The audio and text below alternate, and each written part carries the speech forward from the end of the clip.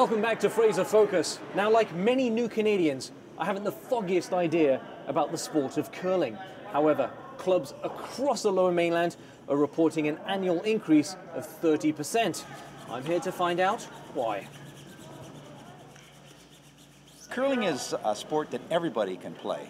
And I think that's the most entertaining thing about it, eh, you know, because you, you get out with people that, of your own age group and you, uh, you have a good social time, you really enjoy what's going on, and, and it's easy. Curling started in Scotland about a hundred and some odd years ago. Ended up in the prairies because it's so cold there that uh, water freezes quite well. So they started it there and it's moved all around the country since. Everybody think it's an old person sport. No, it's not. Um, it is athletic. You watch those pros on TV and you know that uh, they're in very good shape, both the men and the women. Started, slide that right behind you. Their Uncle Ken is a world class curler. Their cousin is a world class curler. They love watching their uncle and their cousin on TV, so they've been all over the world curling.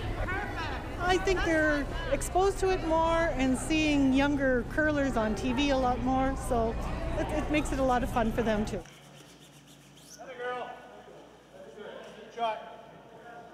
So, how does that rate that shot right there? Actually, that's a good shot. That is a good shot. What is the purpose here? What are we doing? Those are called rocks, are they not? Yeah, it's granite.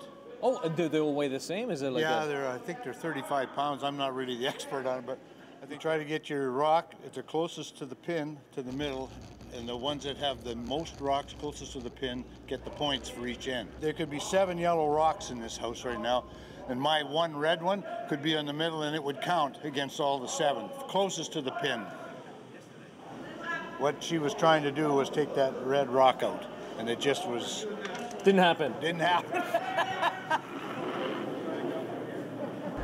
I've had multiple individuals try and explain it to me, and I really still don't know what's going on.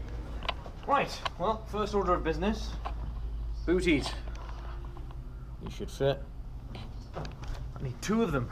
How does it work? So, foot, right foot here. Okay. Sorry, yeah, right foot. Yeah, I'm right-handed. All right. Yeah, so that's what I balance with. Okay, and then and then you just push. and just go for it. Here we go.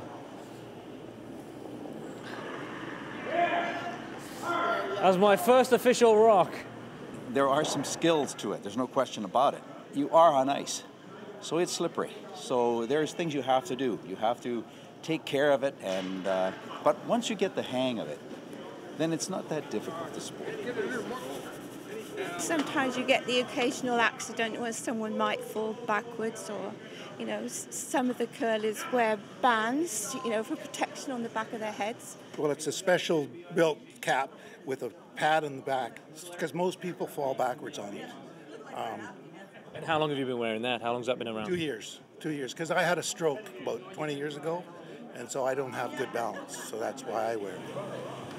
I had uh, AV node problems and I passed out on the ice three times. Split my head open. That's why I'm wearing one. And the other thing, now that I've got a pacemaker, I can curl twice as well. Are you, you guys not wearing helmets though? You- did you have to wear helmets? Not really. No, No. Have you ever fallen and hit your head? um, Mackenzie has one How long ago was this? about a year. And you fell over and hit head? It hurt. Yeah. It's, it is on ice, it is dangerous. I myself happened to fall just this week and kind of got a little bit bruised. And so I'm going out tonight and buying myself a helmet. The Curling Association of Canada is calling for new regulations making it mandatory for players to wear helmets. You're watching Fraser Focus. We'll have more local stories when we come back.